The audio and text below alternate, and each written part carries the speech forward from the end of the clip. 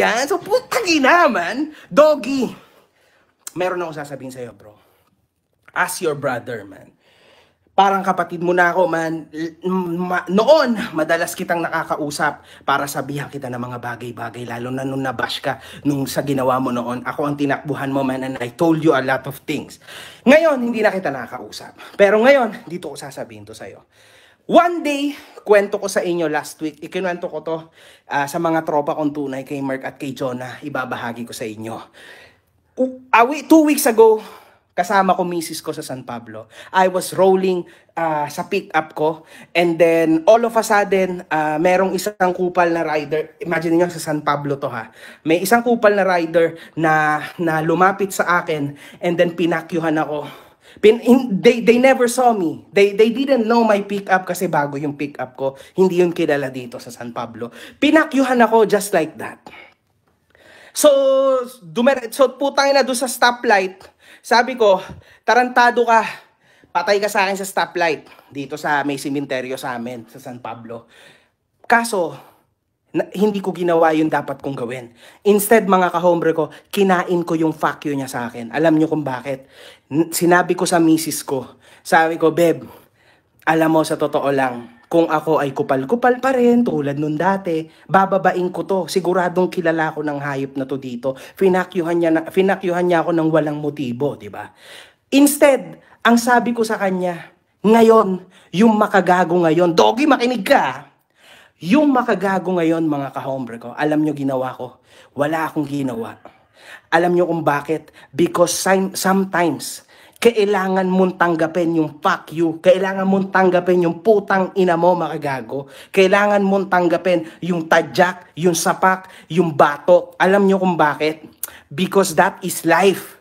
Hindi pwedeng lagi kang panalo. Paragitin nyo yung tatandaan. Hindi pwede na laging ikaw yung nasa top. Tandaan mo yan. Na pinaalala sa akin nung pakyo na yon na pantay-pantay pa rin tayo sa mundong ito. Hindi porke mapera ako, ako si Makagago, sikat, very well known dito sa San Pablo City, Laguna. Okay? Hindi pwede na hindi ako mapapakyuhan.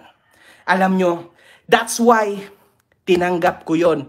Hanggang ngayon, two weeks nang nakalipas, nasa isip at puso ko pa rin yon. And I knew that that is fucking normal, okay? I knew. Ayon ang nakakapagpaalala sa akin na bro, nasa baba ka ha?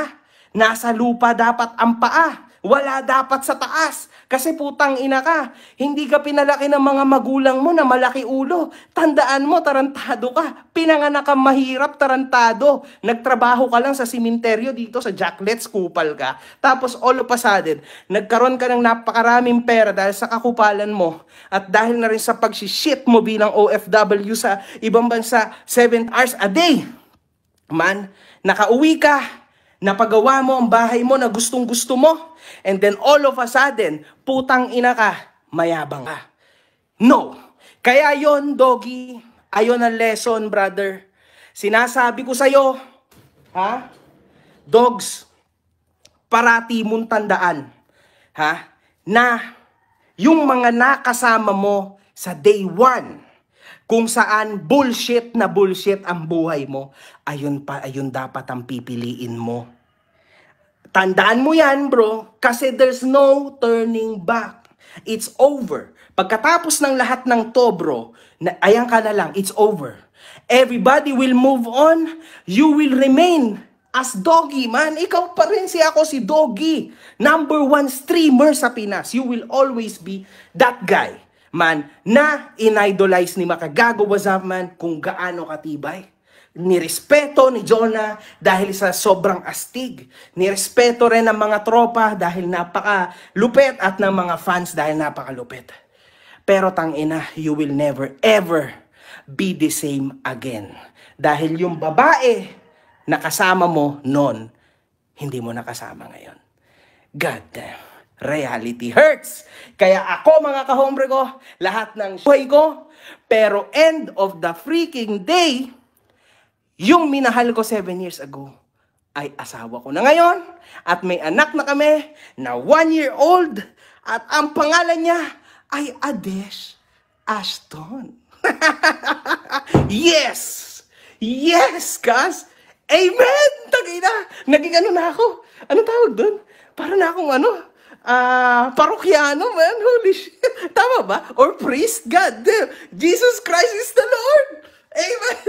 Hindi, anyway. Anyway, putay na. Um, hindi ko alam kung anong kaaya-aya sa pagmumukha ko, bro. Kasi tagina dami nyo nanonood sa akin. I never expect this shit, kas. Um, yun lang. Wala